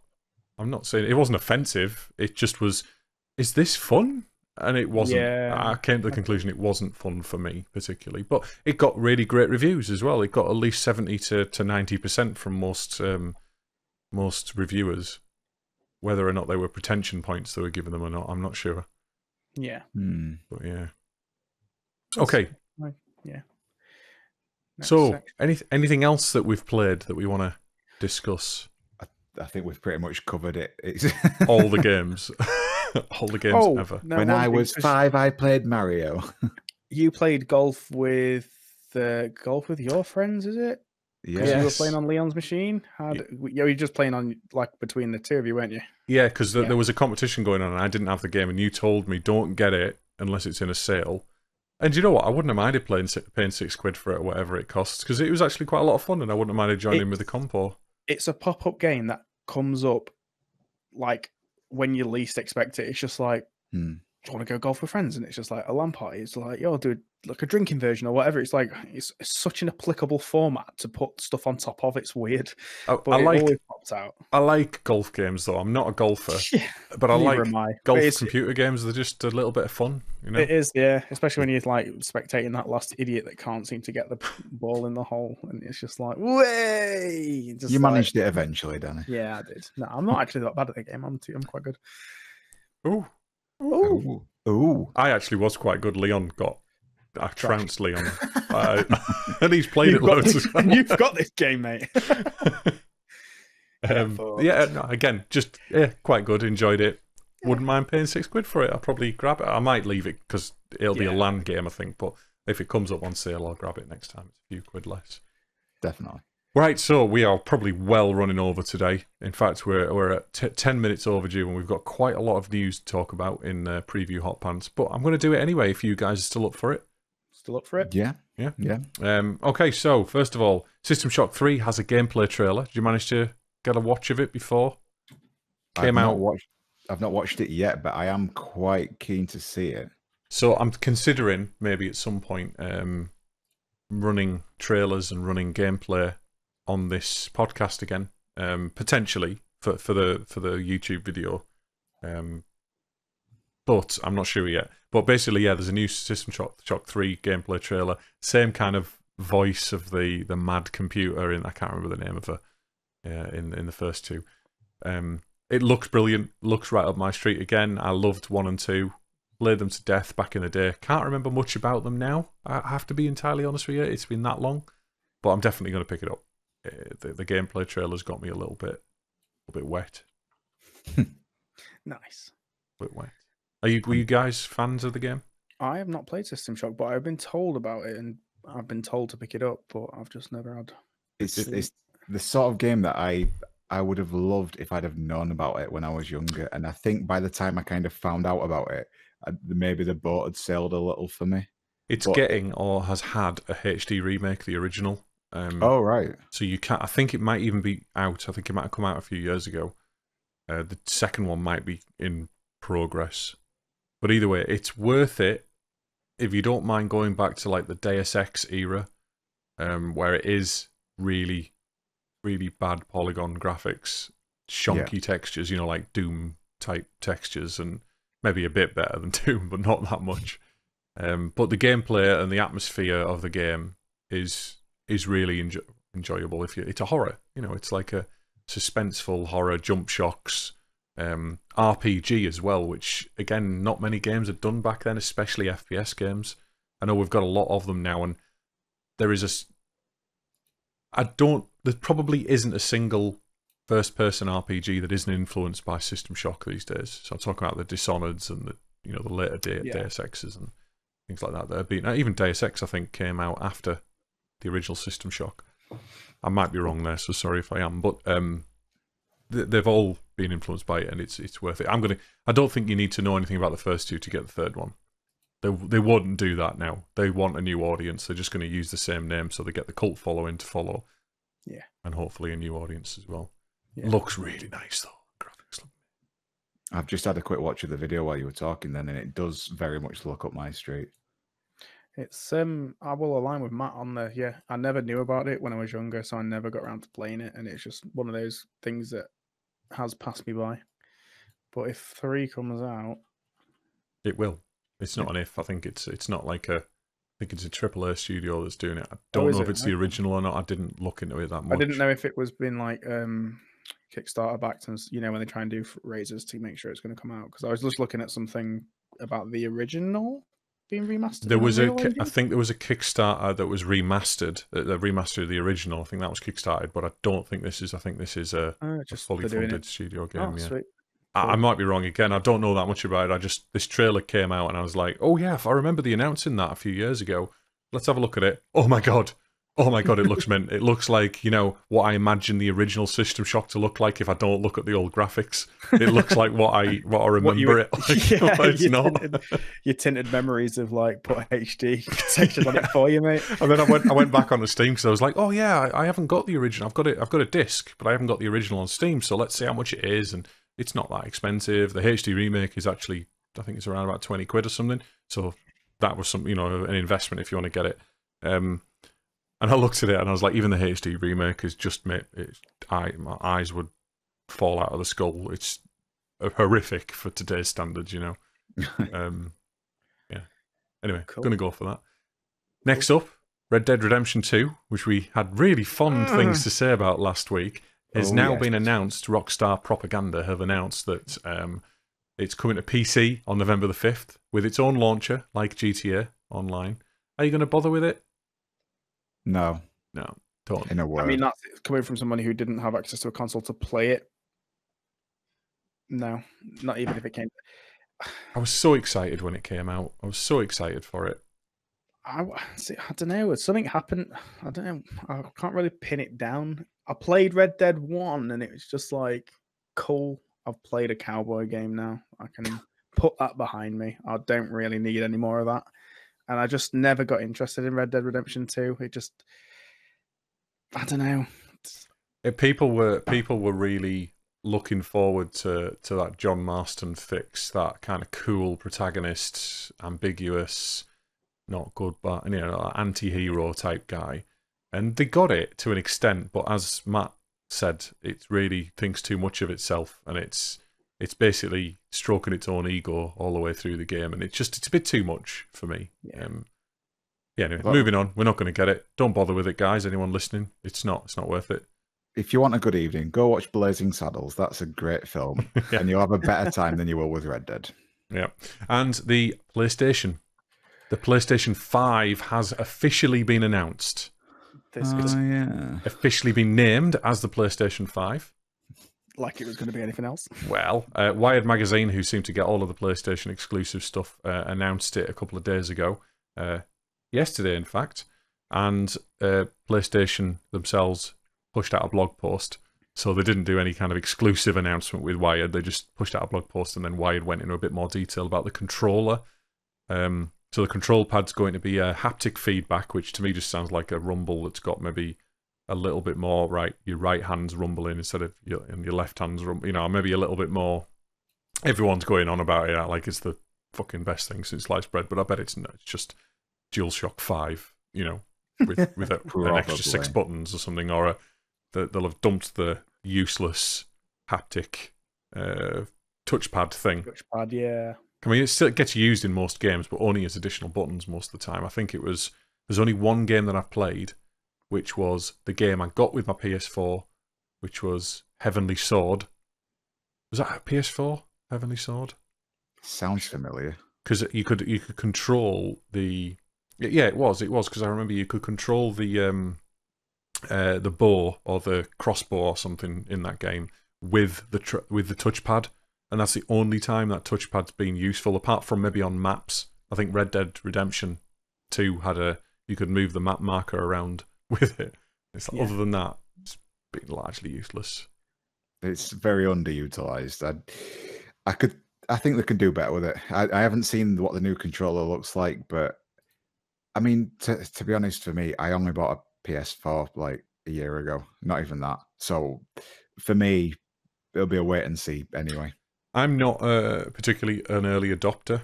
I'll get I'll get a console when there's an exclusive on it that I really want that I can't get on PC. Basically, um, I think GTA might have been the PS4. That's why I got Yeah. a PS4. I think. Yeah, because it dropped with that gen of consoles again because Mhm. they released it for. Th- Did they release it for 360? And No, it wasn't. I got it on PS3. PS3? I got it on PS3 and then I got it on PS4 and then I got it on PC. Because PC got like delayed by a year, didn't it? So yeah, Yeah. And I think it only- was nearly two years. Was it 19 months, something like that? It got delayed between the Yeah. original release. Something like PC that. version. So we have uh, other hardware things. So the, the, the controller has adaptive triggers. That sounds and I thought- cool. I thought the DS4 had adaptive triggers, and that all that means is that if you press it slightly, you like you might draw a bow slowly or something. You know. It's I- yeah. So the devs can program the resistance in to the controllers. So if you're drawing a bow, it might have like a tighter pull than something else. But Okay. That Ah, right. that- okay. That's a little more interesting. I thought, yeah, like Chris was so saying. yeah, you could. So technically, they could do it really fucking well, and you could have it like uh going back to first person shooters. Everyone's kind of over, but every gun in the game could have a slightly different trigger pull. Like that would be interesting in itself. Do you know what I mean? That kind of level of depth to it, but like they'll do that anyway. It see. would, but wouldn't that become a little jarring after a while? Like it, it, it's it's like the same argument for Red Dead again. Like you know, it yeah, it's technically impressive, but would like would you not start to get finger strain after like an hour of shooting people with a very stiff trigger? I think it, I don't I don't think it like no, I don't think it adjusts the stiffness of the trigger. I think it changes at the point like I think it's like in between of like it doesn't you don't have to still pull it all the way down to actuate whatever it is. I think it just changes the actuation of it, if you get me. I think. So Okay. it's like oh, I don't, it's I know I don't understand. I don't understand. so you're pulling it like a trigger on a controller, Yeah. and then you, so like that might be like a hair trigger on a gun or something, and then like you can like really go down to pull like a trigger on an LMG or something. Just hypothetically speaking, here, I think that's what they might be going for with the adaptive triggers, and the dev's been able to program in how that sort of affects the how it's with the controller of whatever you're using in game. But well, we'll see. this is Uh, me it's- coming to it in yeah. I'm not read too much into it. doesn't sound like something we need. That's Um, it. Like, if I was going to go for console, like I skipped out the 360 and PS4 gen, just didn't bother. I was going to pick up a PS4, but didn't. I, I was got both of them for that gen, so I'm well versed in Um, that. But the if I was to pick up a PS5, I'd want it to really strive to do 4K natively properly. It's supposed to do 8K Of course, it will. Yeah. Yeah. because we again we need that, don't we? We're desperate Yeah. for 8K. So, like you know, how half the population doesn't have a 4K TV yet. It's just yeah. Yeah, 4K isn't quite. aff- I mean, it is TV wise affordable now, but the 4K PC monitors still aren't quite affordable yet. They're still Mm. not not not at a decent size anyway. Um, you know, you want at least 30, probably about 30 inch to to make it usable at a PC.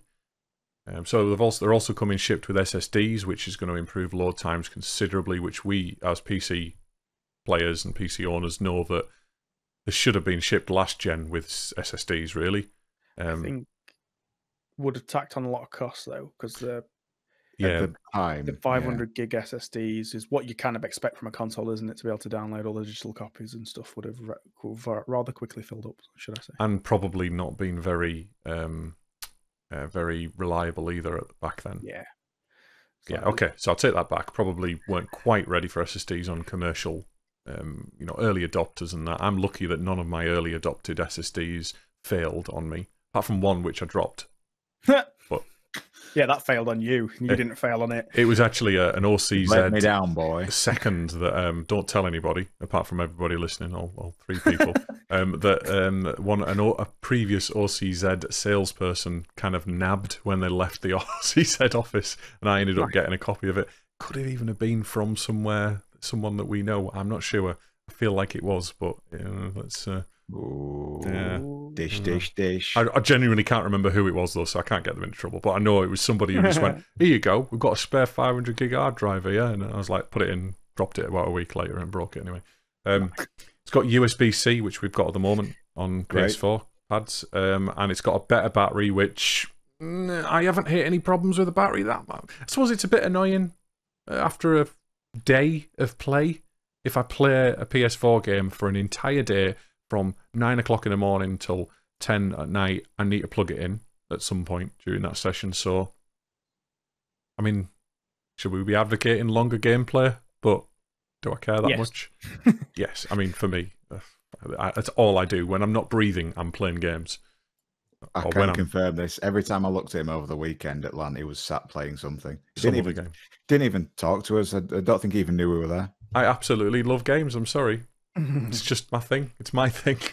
Um, and a better speaker, which we again we all need. We need in the um, in the control pad, the. PS5 control pad. Also, going to natively support ray tracing on the AMD. I think it's coming with an AMD card. That's interesting. Interesting that they're adopting it. Not necessarily interesting for the quality reasons. I don't. No. Oh, sorry. I was going to say interesting because AMD haven't dropped any PC hardware with ray tracing in the name, Um, they they have announced it, but it isn't. but they've not dropped it. Yeah. Yeah, But it's we're still uh, apparently it's holiday 2020 when the PS5's coming out, and obviously PlayStation are going to get hold of um, early, you know, early revisions anyway. I think it. I think I said AMD that the, the architecture, the CPU's definitely AMD. I can't remember, and it, uh, you know it's all custom anyway. They don't just give them a yeah. the like a latest chip Ryzen chip or something. do they? I wish they would. Cheap PCs for all. Um, no. um, but yeah, the ray tracing. Do we need it still, even if it is pushed to mass mass market? As I said it- to you, I, I don't. I actually, the more I've been playing games in 4K recently on this rig, the more I don't, the less I regret getting the 2080 Ti. Yeah. But that's just because I'm still just playing at 4K normal games. If I'm playing at 4K with ray tracing, it drops to 20 FPS. Most of those Mm. games, apart from Battlefield 5, which is really well, or Battlefront 2, actually. One of them, what Uh, if, whichever oh. one I've got, Yeah. it's got ray tracing in it, and I played it at full settings, and it was really well optimized, and it ran beautifully at 60 FPS in 4K with ray tracing turned on. Looked gorgeous, but looked no more gorgeous than any other game without ray well tracing done, on. Rasterized. Yeah, that's the thing. I didn't. I mean, yes, if you look at it and you you know the the meme, the RTX on and RTX off shit, right? yes, you can see it if you look at it, but when you're playing a game, I'm immersed enough. I know it's not real. I'm not gonna get. Yeah. You know, if maybe ray tracing will make a big difference in VR, possibly. That's what I was about to just say. Yeah, that yeah. I can see on a 2D. Like some games still. Do you know what I mean? They just drop dead gorgeous. You just look at them, you're like, wow, this is still like this. Jesus. I've said I'm just been playing The Witcher Three again, and that God, it's gorgeous even now. I mean, the hair, the hair works, the Nvidia HairWorks stuff. TM. It's. I mean, it. That I had to turn that off in my 980 because it just would not deal with it, and I've turned it on now. Doesn't look any better than other Yeah. games with hair now, you know. But it was a thing back then. It, it came out with it, and everyone was raving about it. The thing is though, like with with games recently, I've just been noticing like I can dot between like games released within a nine year period, and yeah, they might have patched it and improved it, but for the most part, there are some games from like 2014 and 13 that just look like wow, holy shit, that looks like proper nice stuff that's released like today, and it's just like. Oh, cool. Yeah, that looks quite nice. But it's just, I don't know if it's just the numbers impressing me here. Like, World of Tanks 2010 still looks amazing for what it is. And it's just like the water effects and, uh, and all that stuff. It's just absolutely unbelievable. And it's just like, have we reached that point where it's starting to get to the point where you can't? It's, it's very small incremental improvements where it's not really worth batting an eyelid at. Just enjoy the stuff. I think the resolutions are the big thing now. Resolutions are the big thing. Mm, yeah. It's still, I mean, my rig, I said it does, does run most games in 60 FPS at 4K, but just, just about.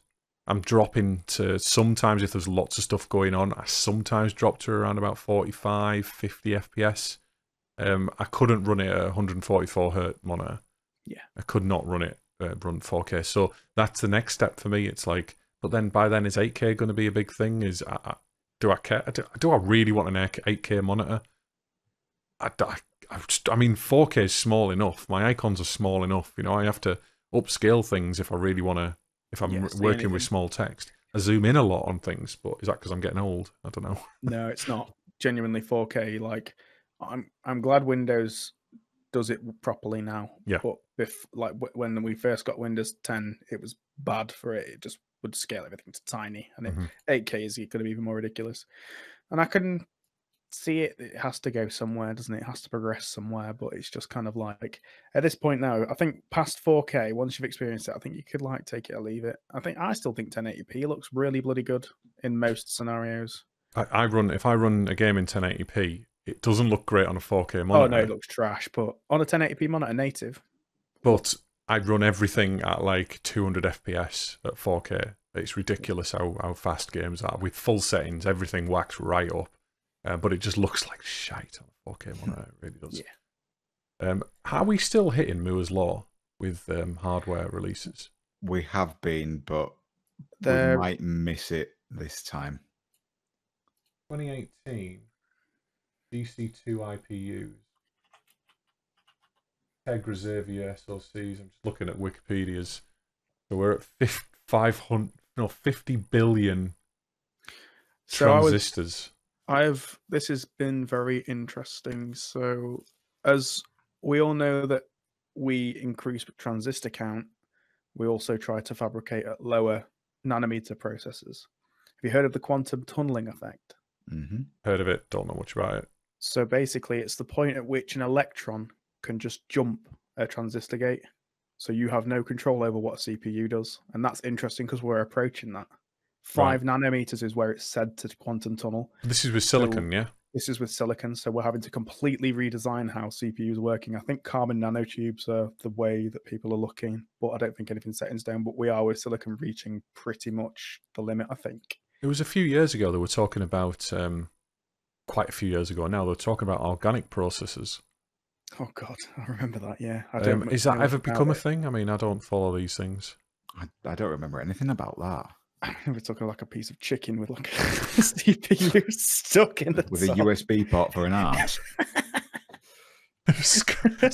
No, liquid cooling a fucking um, just pipe stuck in a chicken. Like, sirloin no. steak. Kill me. No, I don't think anything did come on that. I think we are still looking at There was something about cube processors as well. I can't remember the name of it, but the place quantum, quantum processors. quantum pro- oh, maybe that's quantum it. processing. Yeah, using There's some- qubits. There was something to do with um, one of the consoles. I think the PlayStation was looking at using them on the PlayStation three or four generation, um, but they didn't end up going with that in the end. I love how like yeah, all these companies make these grand noise claims. It's just like, yeah, we're going to be looking at quantum processors, and then it's just like, an, oh, we just bought an AMD CPU from AMD, and it did the job. Do you know what I mean? I just just jammed in there with an hammer. Turns out just- it was an order of magnitude cheaper. Turns out we didn't need to sell, sell our firstborn to, to fund it. the UK has come across the one child policy, not by force, but by choice. Everybody wants a PlayStation 5. Right, so moving on. Let's talk. Let's talk about uh, what you've got to talk about, Danny. Oh, yeah, Middle Middle Phoenix Earth, Shadow of Gears of War 5. It's like your you new story. You you didn't provide it- a link, mate. You didn't no, provide a no, I didn't put that in there. That's why. It's either one of you two. I think it's Matt with the way he laughed. wasn't me. For once, M- most of my stuff's much more offensive than that. But I write about Danny. No, I, I, I was just cramming keywords into there to see what. I, I was kind of hoping you'd run with it and try and spin it out into a, some sort of story we could all enjoy, but never mind. no, uh, not quite.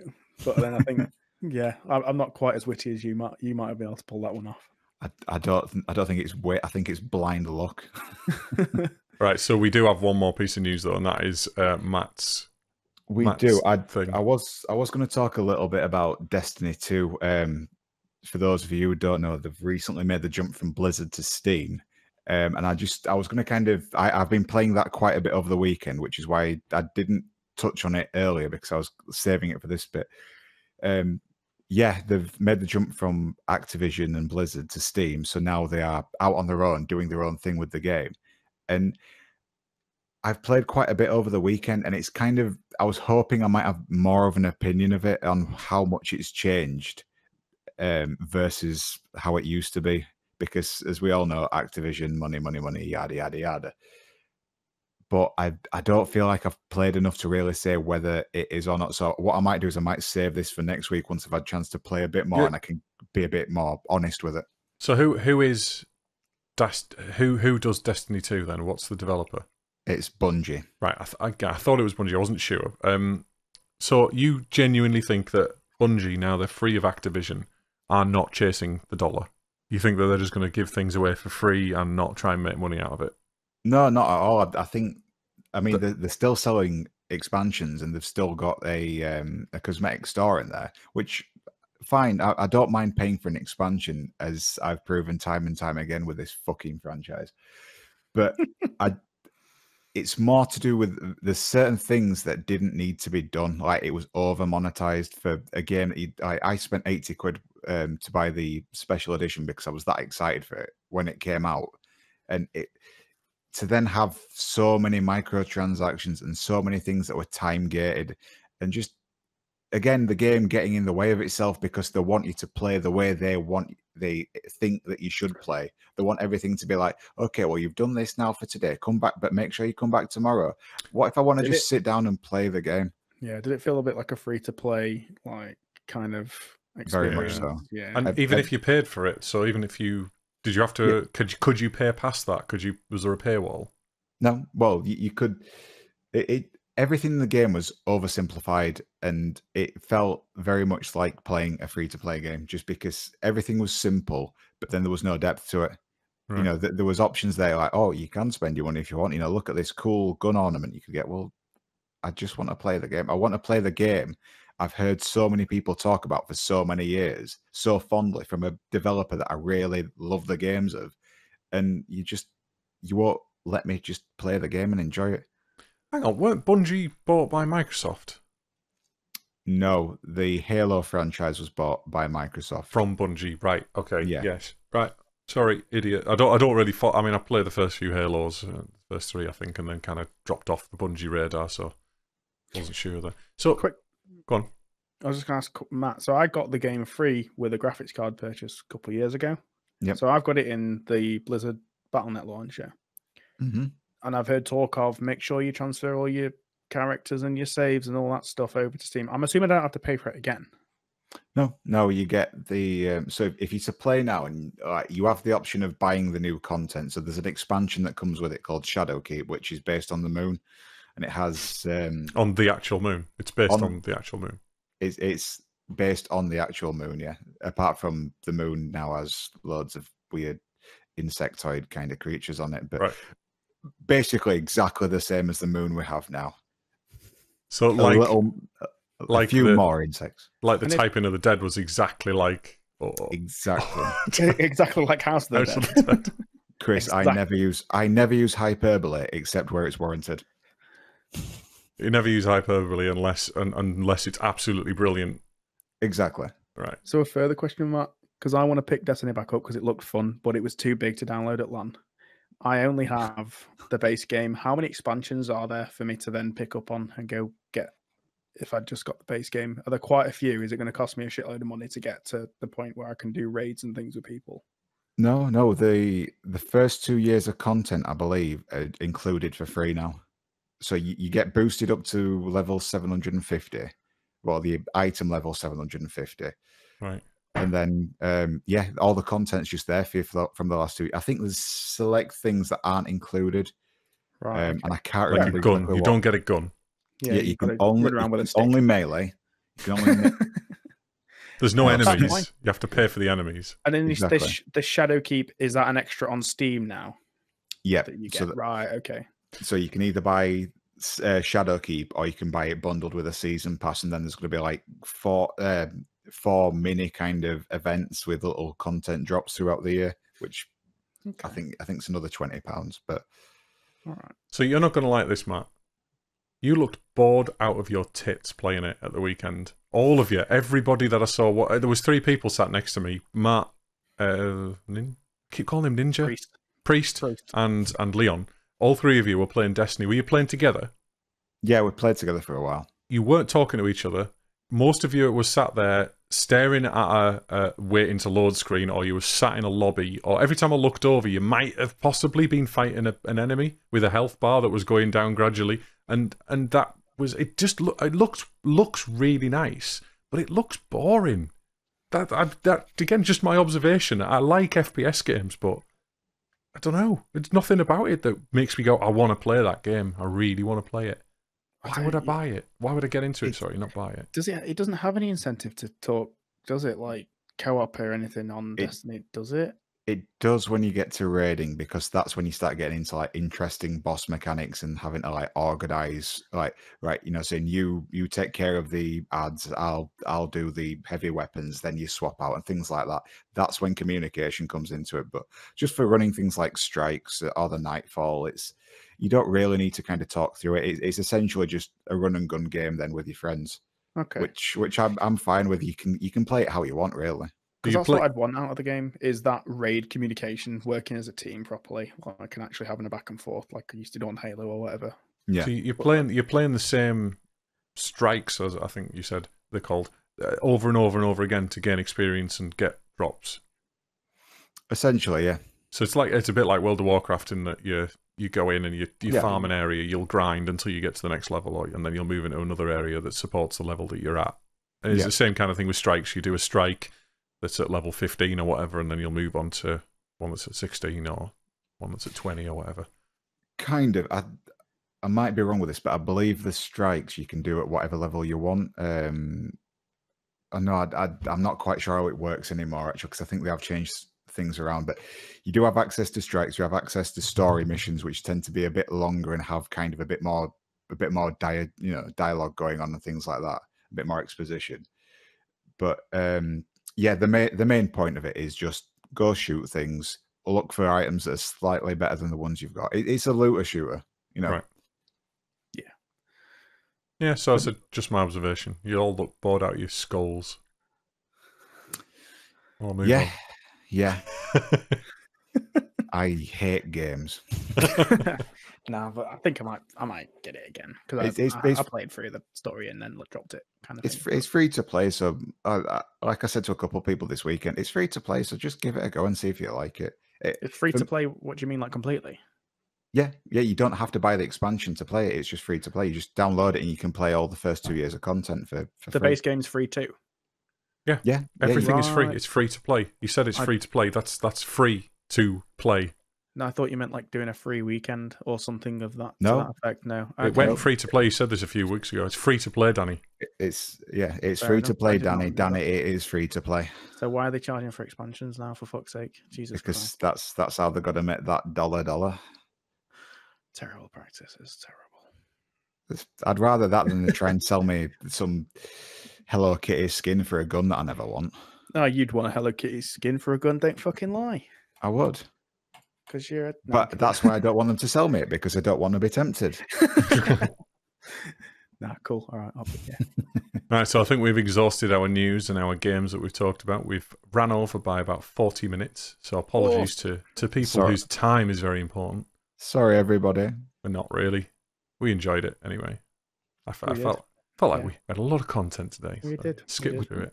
We Need did. more LANs, more frequent. We do. March, I think the next one. Oh God, don't please no. It's too long. Too long. We'll just we'll, follows, talk, We'll just do our own. Play some- talk. We'll just do our own LANs. We'll just make them up. so blackjack and hookers. that is the end of the show. Thank you very much for everybody who's listened to us whiff, waffle on and listened to us yet again make excuses for Danny not playing any computer games, Here it comes. even when he goes to a LAN party where there is 72 hours of playing games. That is the intention of playing games at LAN party, and Danny still managed to play a I minus played- amount, a negative amount of computer games. Hey, listen, I took pictures at LAN too, so I did a lot of shit at LAN. I You got a took lot of pictures. It's not a picture taking party. Look, Stull It wasn't there for absolutely the other two days, and he asked me to take images, so I did. And I also got the podcast pushed out. I did a lot. I I, did a I, lot. I got it edited and uploaded, but you don't see me hear me going on about it, do you? I, No. Oh, I shaved Oh, down, I shaved podcast. down to a mustache and looked like a child Oh. predator. He looks worse now, mate. And by We next might- week, we will thanks, have. We will have. We'll post we'll post those on I- Twitter for your enjoyment. I'll send you some beard. I'll trim some off and send it to you. I, I, when I pulled it out the sink after I'd finished shaving, I thought, should I keep this and just fashion some sort of Hold wig it out out the of it? sink like that. It's just like I've been doing the washing in the sink. It's like, oh, my beard's dry. So you can like and subscribe our show. Please do that on on Resonance Arcade uh, on on our YouTube and on our other things. Please, please, please like, subscribe, as everyone keeps telling me to keep doing that. Yep, and you can watch all of our shows on Po Po Po Pe Pe Pe Pe. I'm kidding, Matt. Why did you do that? On Because if you were a professional, you would have talked around it. oh god, Poo poo poo ppp dot com. doesn't even say that. Um, I don't actually remember what that says. Um, YouTube.com. Mate. YouTube.com. Sorry, what all of our shows dot com. What? Control Z. Control Z. Yeah, just tell you what though, I tried that and it did my last did thing, not yours. So I was like, fuck. So yeah, you can if you can put up with us. Watch all of our shows on youtube.com forward slash resonance arcade and visit our website at resonancearcade.com where you can find info about the show and links to all of our social channels. And that's where everyone starts putting in the document RedTube, XNXXX. you can't say that. It's a child show. Even though you've dropped the C bomb uh, numerous times. I did. You have. I'm not scared. I think we might have to start uploading to Pornhub though, guys, just to get that ad revenue. That's true. We can get like chat if we get on like chat roulette, uh, chat. Yeah, that other one. Is Um, Jack Roulette? Is this one we don't know about? That Yeah. way, is that one where it's exclusively for people jerking off? Spaffroulette.com. Bath roulette. Oh, good idea. Get let's, on get, it. let's see if the domain's Don't taken. don't I'm type it into your browser not while not while we're streaming. So yeah, that's my section done. And on to Matt. You can also follow us on poopoopp.com at on Twitter at Resonance Arcade, where we publish show announcements and news. And finally, you should join us in Discord. Come on, what have you got to lose? It's Discord. Discord.resonancearcade.com, where we hang out and discuss all things gaming. We, uh, we do No, no, no, no, no, no. can't put that. no. Danny, all that's you left to can't say- say that about the indigenous Oh, peoples. That's left to say is goodbye. Sorry for the Goodbye. the rubbish this week. I didn't even realize Matt carried on saying the stuff I was typing. I thought he'd just read it and laugh, but he didn't. But that's all from me. Don't leave me hanging. Danny's been investigated for war crimes. Ta ta.